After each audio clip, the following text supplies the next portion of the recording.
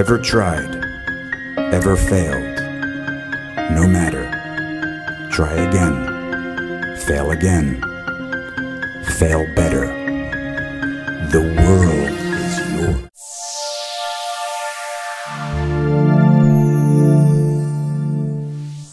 بسم الله الرحمن الرحيم السلام عليكم طلاب أهلا وسهلا بكم محاضره جديده من محاضرات الفصل الأول طلابنا. وصلنا وياكم للخلية الحقيقية النواة. بالمحاضرة السابقة أخذنا خلية بدائية النواه وسولفنا عنها وقلنا هي الخلية اللي تمثل إنه أول تعليل اللي موجود بها يقول تعد الخلايا البدائية أقل الخلايا تطورا كونها أكثر بدائية من حيث الشكل والتركيب. وأخذنا مميزات الخلية البدائية اللي هي نواتها بدون غلاف نووي ولا نوويه وتدعم منطقة النواة أو المنطقة النووية. والسيتوبلازم مالتها إيش ما بيه عضيات بيه بس الرايبوسومات التي تقوم ببناء البروتين وتتمثل بالبكتيريا والطحالب الخضر المزرقة والمايكوبلازما. وأخذنا أنه قلنا كل خلية بكتيرية تمثل كائن بدائي النواه يحيط بها جدار صلب وهذا الجدار مؤلف يعني تركيبه الكيميائي بروتين دهون عديد سكريد صح لو لا؟ وأخذنا أنه سايتوبلازم مالتها ما عضيات بمنطقة نووية والرايبوسومات وقلنا الخليه المتحركة تحتوي على اهداب وأسواط ورسمنا هنا اللي هي شنو الخلية البدائية اليوم ناخذ عالم ثاني عالم ثاني. شو اسمه؟ الخلية حقيقية النواة. يقول هي الخلية التي تمتلك نواة حقيقية. تعال توقف لحد هاي اللحظة. شنو نواة حقيقية؟ باوع. أنا بالمحاضرة السابقة أخذت هاي خليه إيش بيها بيها غشاء بلازمي. كل الخلايا البدائية والحقيقية بها غشاء بلازمي وكل الخلايا البدائية والحقيقية بها سيتوبلازم وكل الخلايا البدائية والحقيقية بها نواة بس النواه تختلف. مرة نقول عليها بدائية النواة ومرة نقول عليها حقيقية النواة. البدائية باوع هذا راح أسميه شنو؟ غلاف نووي صح لو لا؟ وهنا أنا عندي نويه هاي كلها راح اسميها أسميها النواة. فباوع هاي المادة النووية معزولة عن السيتوبلازم. المنطقة هاي النووية شوفها منطقة النواة أو المنطقة النووية. هذا إحنا نسميه طبعا بعدين بال... من راح نتقدم بالمحاضرات نسميه بلازم نووي. هسه معزول عن السيتوبلازم. بمن معزول؟ راح تقول أستاذ بغلاف نووي. صح لو لا؟ هسه هاي شو أسميها الخلية قدامي؟ أسميها حقيقية النواة. شلون أستاذ شلون أميز الخلية الحقيقية النواة عن البدايه تقول أستاذ الحقيقية النواة تمتلك غلاف نووي ونوية. البدائية بدون غلاف نووي ولا نوية. ومكان ما راح أسميها نواة راح أسميها منطقة نووية. أو نواة بدون غلاف نووي ولا نووي فإحنا عندنا شو موضوعي؟ خلية حقيقية تمتلك نواة حقيقية بها غلاف نووي ونووي صار واضح؟ يقول توجد في ممالك وعوالم. إحنا البدائية من أخذناها إذا أريد أسوي مقارنة ذيك تمتلك نواة بدائية بدون غلاف نووي ولا نوويه هاي بيها شنو؟ إنه آه نواتها حقيقية بها غلاف نووي ونوويه ذيك بمن تتمثل البكتيريا والطحالب الخضر المزرقة والمايكوبلازما هنا يقول توجد في ممالك وعوالم الحيوانات والنباتات والفطريات والطليعيات الطليعيات مثل منو؟ الأميبا والبراميسيوم ذني شنو؟ اليوغالينا ذني هي عبارة عن يسموها طليعيات كائنات حقيقية النواة يعني الخلية حقيقية بس هاي الخلية كلها شو تكون؟ تكون جسم كائن حي يعني البراميسيوم كله متكون من خلية واحدة وهاي الخلية نواتها تكون حقيقية فنسميها إحنا طليعيات. هسه إحنا ما نريد نتعمق بهاي الأمور يقول تختلف الخلايا الحقيقية من حيث الشكل والتركيب. العفو من حيث الشكل. بها أشكال ثابتة يعني الخليه تموت شكلها ثابت تنولد شكلها ثابت وتموت شكلها ثابت. يعني انولدت مربعة تولد مربع. راح شو تموت؟ تموت مربعه فهذا الشكل شو أسميه؟ أسميه ثابت. تنولد. يعني خلية تجي أول ما تصير للدنيا شكلها فرضا مربع وتموت مربع. بيضوي؟ تموت بيضوي هذا الشكل شو اسميه ثابت ثابت. فيقول الخلايا أشكال ثابتة وغير ثابتة. الأشكال الثابتة شباب تعال ركزوا وياي. شوف ركزوا وياي. الأشكال الثابتة تعال. هنا أريدك شوي شغل دماغك وياي. انتبه عليه هنا إيش مكتوب كروي. كروي يعني هذا. كروي. وبيضوي ومكعب. والعامودي هذا هيك إحنا ناخذ العامودي. والمسطح هيك تصير والهرمي شلون المثلث الاهرامات والأنبوبي. الأنبوبي يعني هذا شلون البوري. هسه تعال لي. هذا شنو الشكل؟ شنو هذا الشكل؟ عافية كروي. وهذا على الشكل بيضوي. وهذا مكعب. وهذا عامودي وهاي مسطح. وهرمي وأنبوبي. شوف بابا ركز وياي. هسه أنا مسحتها بس خليتك تحفظها. يقول أشكال ثابتة منها شنو؟ كرويه بيضاويه مكعبة أنبوبية مسطحة هرميه أنبوبية. صار واضح؟ وأشكال غير ثابتة. هسه الأشكال الثابته أخذناها. عدد لي أشكال ثابتة الخلايا. تعدد لي اللي هو الكروي بيضاوي مكعب اللي هو العامودي والمسطح والهرمي والأنبوبي. الأشكال الغير ثابتة. منطيني مثال. يقول مثل الأميبة. الاميبا شكلها غير ثابت. يتغير من حين لآخر. حتى جاني تعليل يقول يتغير شكل الاميبا من حين لآخر. باوع لي هسه اليوم أنا منطيك محاضرة. دا أصور لك محاضرة. لابس هذا اللبس اللي هو يليق مثلا بالتصوير والكل يشاهده. يصير ألبسك فالينا متعلاقة وأصور لك بها محاضرة. يصير البس لك دريس مال طوبة وأصور لك بيه محاضرة. يصير البس لك دشداشة وأصور لك بيها محاضرة. ما يصير. الدشداشه لها وقت معين الدريس مال طوبة له وقت معين هاي الملابس لها وقت معين القاط له وقت معين بلبسه فأقول يابا يتغير أنا شكلي يعني الشكل المظهر الخارجي يعني هسه مثلا رايح بعرس لبست القاط مالتي. عرس معزوم بعرس لبست قاط. أنا ليش بس تقاط يعني تغير شكلي صح لو لا تغير المظهر الخارجي مو الشكل الوجه. ليش؟ تقول لي أستاذ لأن أنت أكو فد وظيفة راح تأديها راح توصل العرس عيد أيام عيد هسه إحنا لابس دشداشة ورايح لل اصلي أو رايح الجيراني أو رايح الخطار. ليش بس الدشداشة؟ لأن رايح أزور العالم. ليش ألبس مثلا قميص وبنطلون أو تيشيرت وبنطلون أروح بيه إلمن للدوام؟ تقول لي أستاذ إنه كل شكل يعني كل كل مكان له شكل خاص. فنفس الحالة يقول يتغير شكل الاميبا من حين لآخر. يتغير من حين لآخر. تعال هنا أوضح لك في الشغلة. شوف هنا اريد أمسح السبوره المساحه ما أدري وينها أنا عندي مشكلة بالمساحة. تعال. هاي راح أمسحها ما عندي شيء بيها.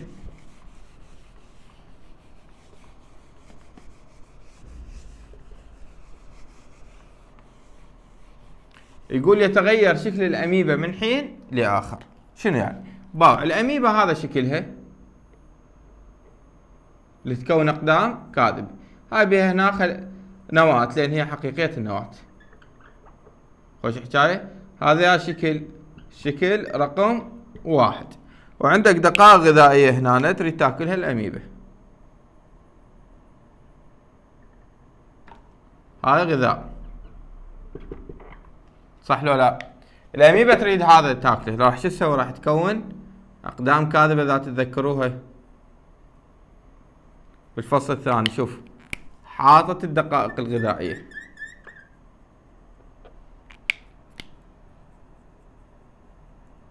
هيا شكل شكل رقم اثنين. هو نفس الاميبا ولا مو نفسه. نفسه. تغير شكلها من حين لآخر؟ ليش تغير؟ تقول أستاذ إنه هذا سبب التغير حتى تبلع الدقائق الغذائية. شوف حتى بلعتها. صح لو لا؟ فهنا شو يقول؟ يقول يتغير شكل الاميبا من حين لآخر. شو تجاوبني هنا الجواب؟ باختصار تقول أستاذ يعزى التغير في الشكل يعني السبب خلي الجواب نقول السبب. السبب. هنا كاتب يعزى بالكتاب. التغير في الشكل. المن. إلى الوظيفة. التي تقوم بها الخلية يتغير شكل الأميبا من حين لآخر. ليش؟ تقول الأستاذ يعزل تغير في الشكل يعزل تغير في الشكل إلى الوظيفة التي تقوم بها الخلايا. ليش يتغير شكل الأميبا من حين لآخر؟ واحد يقول لك بالشارع أنت يابا تعال فلان أنت طالب سادس. الأميبا مرات يتغير شكلها يعني من حين لآخر يعني دائما يتغير شكل. تقول له يابا هذا الشكل مالتها يتغير حتى شنو تؤدي وظيفة تقوم بها فتقول يعزى التغير أو السبب تغير في الشكل. المن إلى الوظيفة التي تقوم بها الخلايا. أو تقدر تقول تستعيد يعني بمكان الخلية تقول الاميبا زين. يقول أغلب الخلايا الحقيقية النواه صغيرة وتحتاج مجهر لرؤيتها. عادي معلومة عادية. ما حد شايف إنه اليوم الخلية عندها رجلينات أربع أو تفتر. هي مو فارة. ولا بزونه ولا زريدي لا لا خليه لازم أحتاج؟ أحتاج مجهر حتى اشوفها صح ولا لا؟ وهي ليش أنا أحتاج مجهر اشوفها؟ هو المجهر شو أشوف بيه؟ أشوف بيه الشغلات الصغار الجزيئات الصغار المواد الصغار هيك خل أحكي لك إياها زين يقول أغلب الخلايا حقيقة النواه شنو الصغيره وتحتاج مجهر لرؤيتها متفقين عليه بس من دون شك هي أكبر من الخلايا البدائية النواه شوف هاي السالفة دائما أنا أسولفها بكل محاضرة وكل سنة أعيد بها المنهج أسولفها أشتغل بمختبر مع تحليلات السابقا يجينا تحليل مال الادرار اللي هو يسموه جنرال يورين examination اللي هو فحص الإدرار العام. يجي واحد يجيب الإدرار مالته صفاحة يوجعه وطبيب يكتب كتبوا له. نقول له جيب إدرارك خوش حكاية. نخليه بجهاز centrifuge نفره نخليه ناخذ هذا الراسب نخليه على ال slide مال المجهر نباوع فنشوف هيك إحنا الدائرة من تباوع من المجهر نشوف هيك دائرة. شو أشوف؟ أشوف هواي شغلات من ضمنهن أشوف هذا الشكل. وأشوف هذا الشكل. هاي هم كبيرة. ها خلينا نختار واحدة. أوكي؟ هاي راح شو أسميها؟ شوف.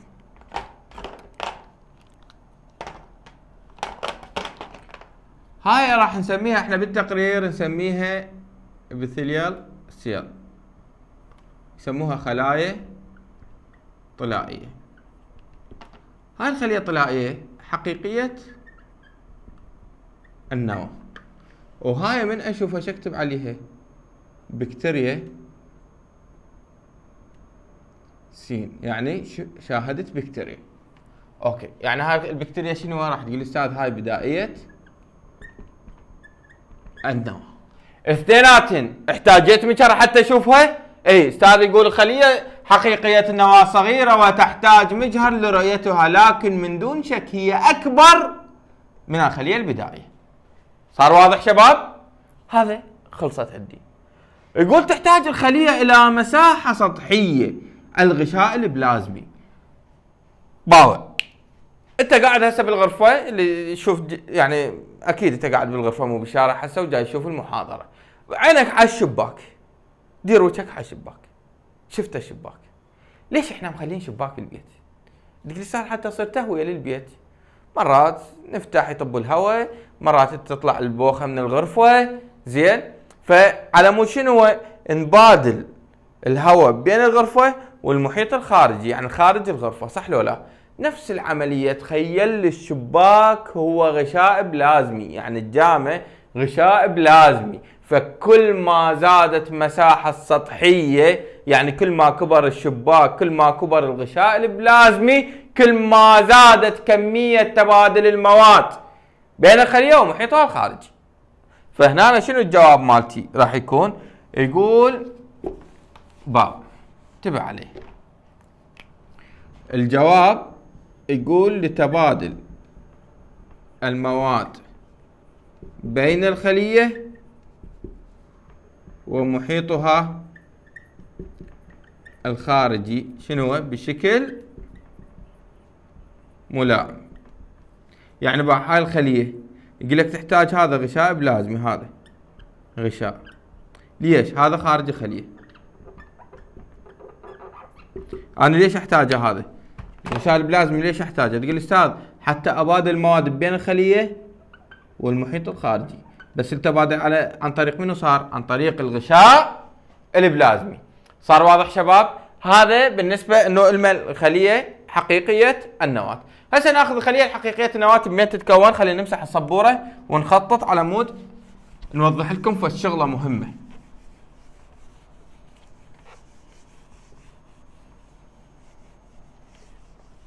شوف. الخلية حقيقية النواة شباب. إحنا المسطره ما أدري وينها. هاي معلقة. تعال. أنا أباوع. أنت أستاذ علمتني قلت خليه بها ثلاث مكونات أساسية اللي هو غشاء بلازمي وعندي سايتو بلازم وعندي هاي نواة. صح ولا لا؟ تعال خلينا نسوي لك إياها على شكل مخطط. هذا المخطط ضروري ومهم. كلش مهم.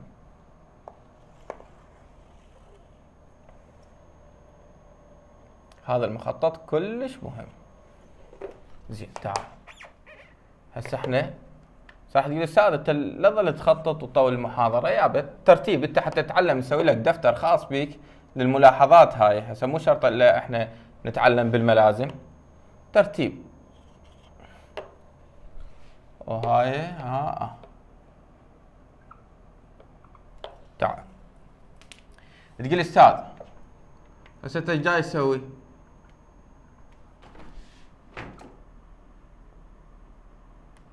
باولي شوف ركز وياي. وين القبق هذا القبق أنا شنو موضوعي؟ خلية حقيقية. النواة. الخلية. الخلية حقيقية.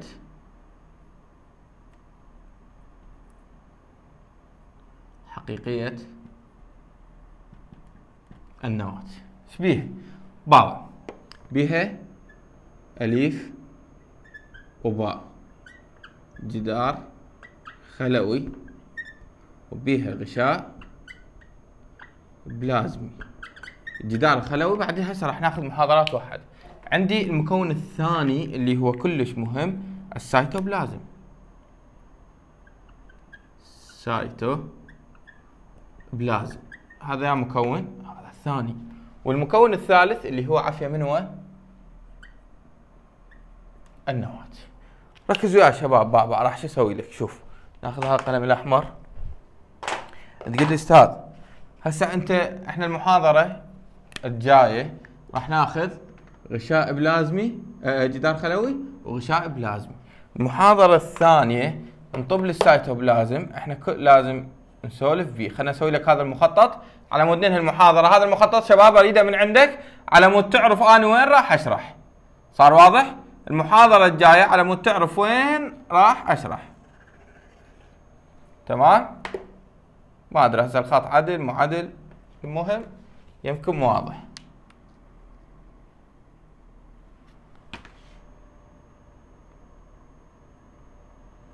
السيتوبلازم إيش بيه؟ يقول لي بيه مكونات حية ومكونات غير حية. مكونات حية ومكونات غير حية. هذا المخطط شباب. مهم هذا. إحنا سايتوبلازم الخليه البدائيه كان إيش بيه بس رايبوسومات هنا بمكونات حية وغير حية. هسه أنا متقدم يعني. بعد المفروض أشرح لك الجدار الخلوي والغشاء البلازمي يلا أطب لك وين؟ بالسايتوبلازم بس هنا أنا على مود المحاضرة هاي وحدها تصير محاضرة وحدها بس يعني محاضرة بسيطة على مود لا تصير مملة. انتبه عليه. مكونات الحية أول واحد راح آخذ شبكة بلازمية. داخلية. شوف تعال خلي أسوي لك هذا هذا التوضيح. هاي الخلية. شوف هاي خليه هذا غشاء بلازمي. هذا غشاء بلازمي. وهذا راح تقول أستاذ سايتو بلازم المكون الثاني. وهاي النواة. هاي النواة أول مكون هذا اللي هو من هو الشبكة البلازمية الداخلية. وين هاي بالسايتوبلازم إحنا؟ صح لو لا؟ المكون الثاني اللي هو شو اسمه؟ اسمه جهاز كولجي. هذا مخطط خليه قدامك حتى تعرف من أشرح. أنا وين جاي أشرح؟ هذا الجهاز كولجي. المكون الثالث الميتو كوندريا هاي الميتوكوندريا زين. المكون الرابع اللي هو من هو نسميها البلاستيدات. أنا هنا ما أقدر أرسم لك البلاستيدات لأن هاي خلية حيوانية. زين. خمسة الجسيمات الحالة. لأن كلها لازم ناخذهن. هاي الجسيمات الحالة.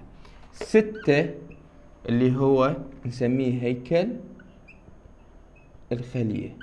هيكل الخلية بخيوط دقيقة ونبيبات دقيقة وبي عندي جسيم المركزي.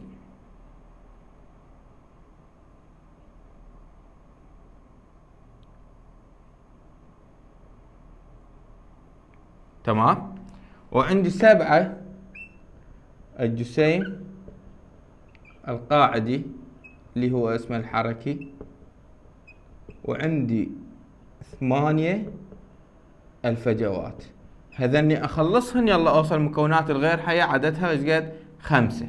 تمام؟ فهذا المخطط تسويه شباب لأن المحاضرة الجاية راح أشرح جدار خلوي وغشاء البلازمي والبعدها السيتوبلازم والشبكة البلازمية الداخلية. والجهاز كولجي والميتوكوندريا وتعالوا وياي للجدار الخلوي والغشاء البلازمي حتى نسوي مقارنة بيناتهم. السلام عليكم طلاب، رجعنا وياكم بعد ما سوينا المخطط اللي هو مكونات الخلية. مكونات الخلية قلنا بها ثلاث مكونات أساسية اللي هو الغشاء البلازمي الغشاء البلازمي والجدار الخلوي بالخلية النباتية وأخذنا السيتوبلازم بمكونات حية ومكونات غير حية واخذنا والنواة، هذا المخطط اللي سويت لكم إياه على هاي الصفحة. هسه آخذ أول مكون اللي هو من مكونات الخلية اللي فقط بالنباتية اللي هو الجدار الخلوي. شوف. طبعا ب 2016 و2017 جاي. هو هذا الكتاب هاي نصيه الكتاب. بس ضفت عليها الأسئلة الوزارية. هسه أغلب الطلاب يقول أستاذ أنت ليش تكتب؟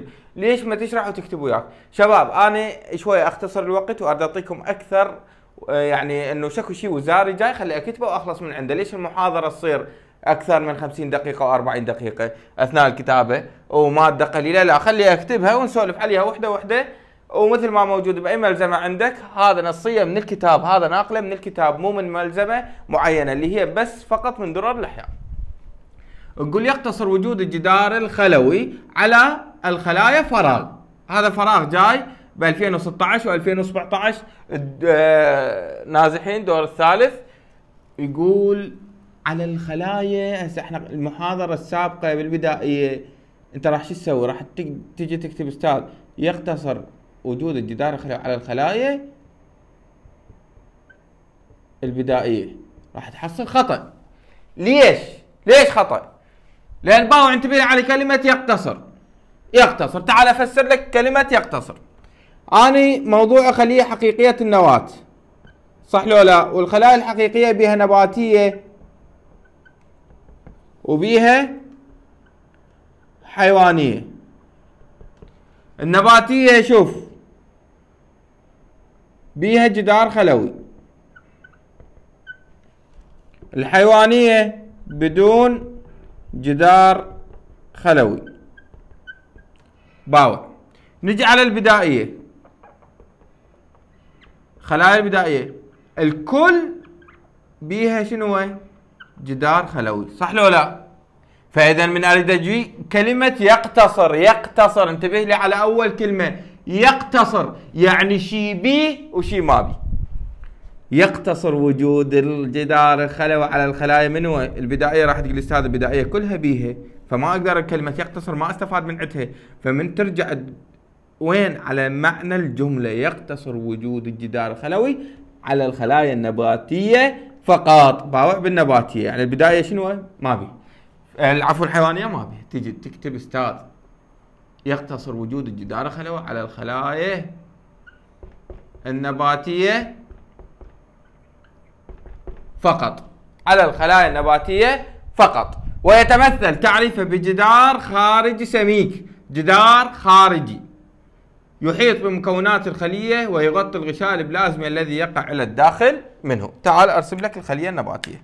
هنا أنا أحتاج أوضح لك بالرسم. تعال خلينا نرسم. باو. الخلية النباتية نتعلم الرسم مالتها بصورة سريعة. زين. تجي تجر خط بالمسطرة. سوي لك مستطيل. وياي. هذا مستطيل. تجي. هنا إيش تسوي؟ شوف. الخط تسويه هنا صغير.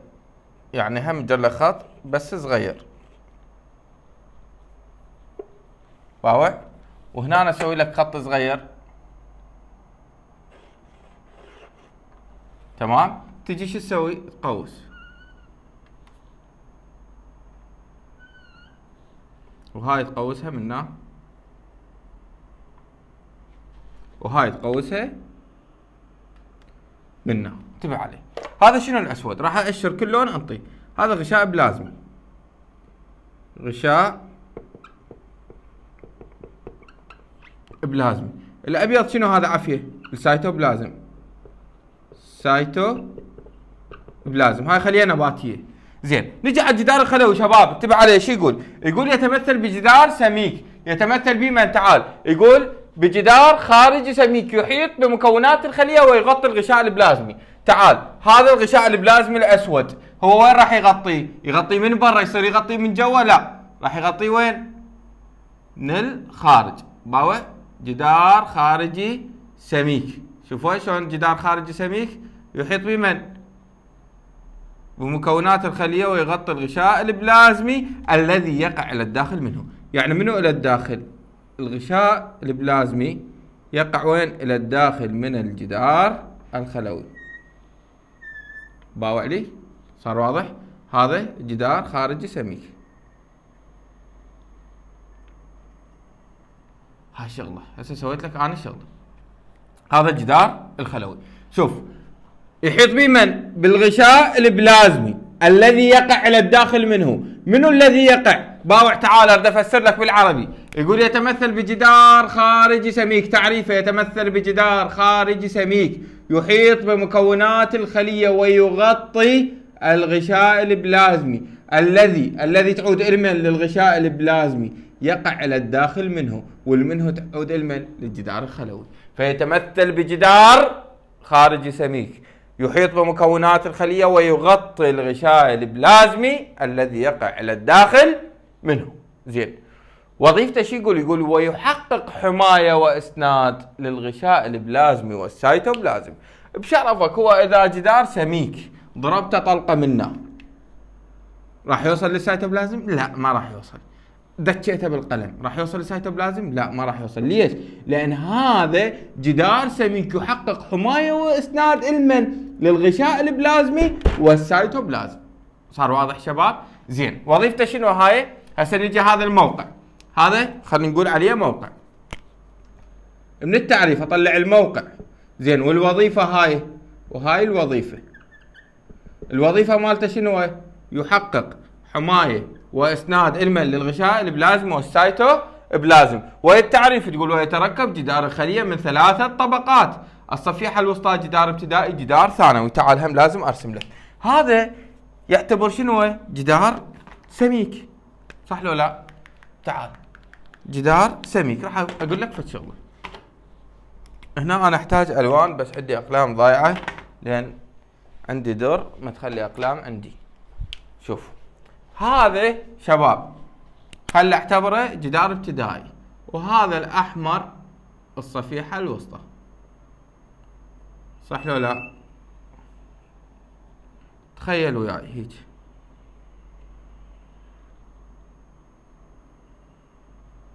زين.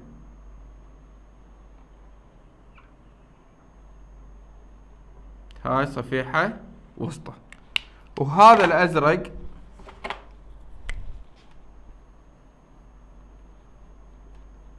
هاي هيك بس للتوضيح حتى شنو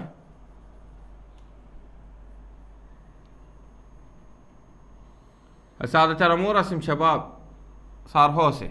باو. هذا الجدار الخلوي شوف كم طبقة؟ بثلاثه الحمراء راح شو أسميها باوع؟ أسميها صفيحة وسطى. هاي الأحمر راح أسميها صفيحة وسطى. صح لو لا؟ زين. الأخضر هذا اللي هو شنو؟ جدار ابتدائي. هذا جدار ابتدائي. سده خلي يولي. الأزرق جدار ثانوي.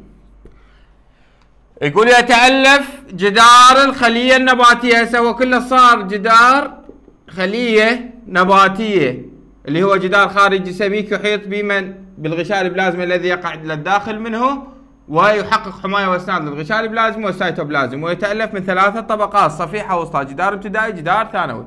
يجيك سؤال بعد تعال.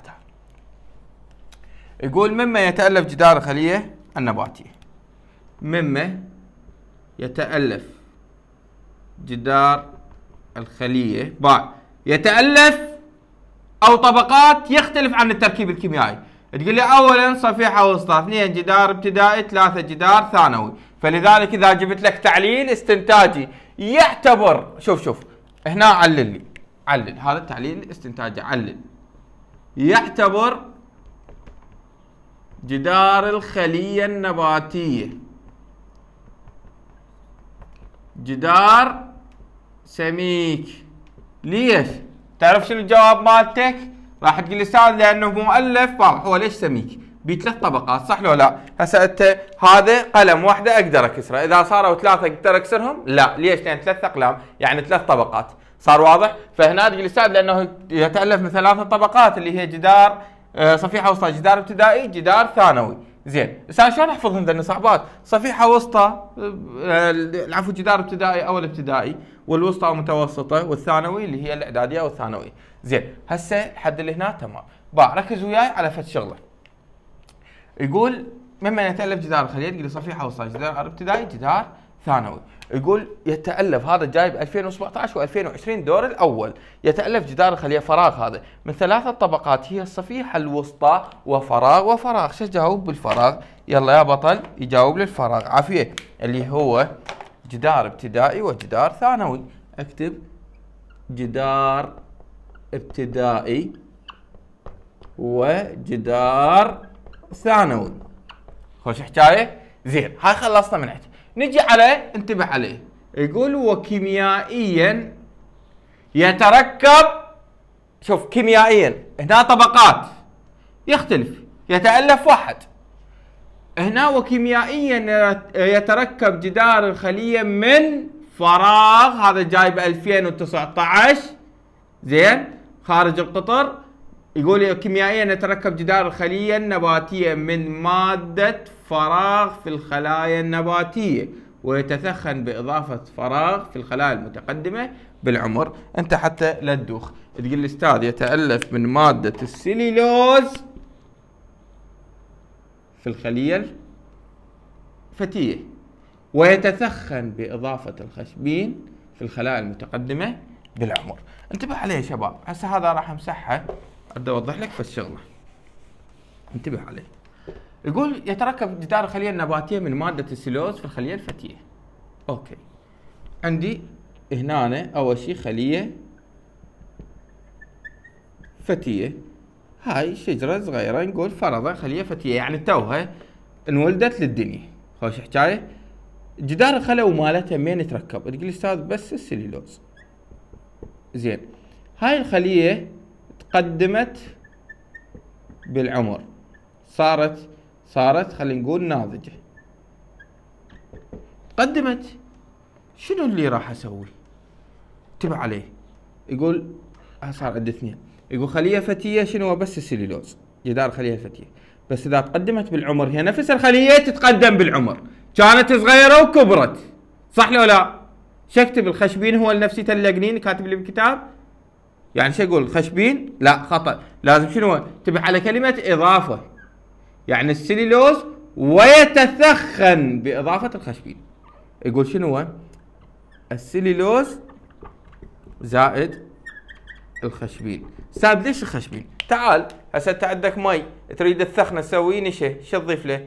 آه هذا تسوي كاستر تضيف له نشا. فجيت قلت لك يابا هذا المي ثخنته بمن؟ بإضافة النشا المي وخرته لا بقى. بس ضفت عليه شنو؟ نشا بس هاي بيا خلية بالخلية المتقدمة بالعمر اللي هو من السليلوز في الخلايا الفتية ويتثخن بإضافة الخشبين في الخلايا المتقدمة بالعمر. زين إذا جبت لك سؤال تعال هذا سؤال استنتاجي ما جاي ما حد يعني ما حد متطرق له أصلا وما حد مفكر به حدد المسؤول عن ها شنو؟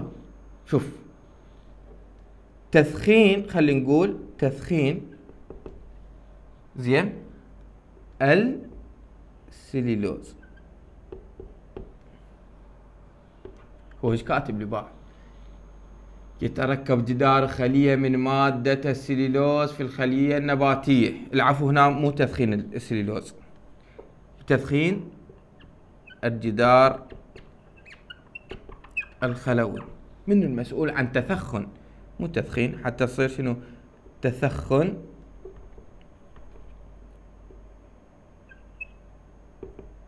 تثخن هسه صارت الجملة مضبوطة. إيه، يعني مسحته هذا لأن هسه جاب بالي هذا السؤال حتى بشرح لا الإلكتروني ولا طلاب اليوتيوب ولا لاي أحد أنتم أول دفعة شرحت لكم إياه هذا لأن هسه جاب بالي من المسؤول عن تثخن جدار الخليه زين النباتية أو جدار الخلوي شنو تجاوب؟ تعال. يقول يتركب جدار الخلية من مادة السليلوز في الخلايا الفتية ويتثخن بإضافة الخشبين. إذا الجواب كلمة واحدة هي الجواب تقول لي أستاذ الخشبين.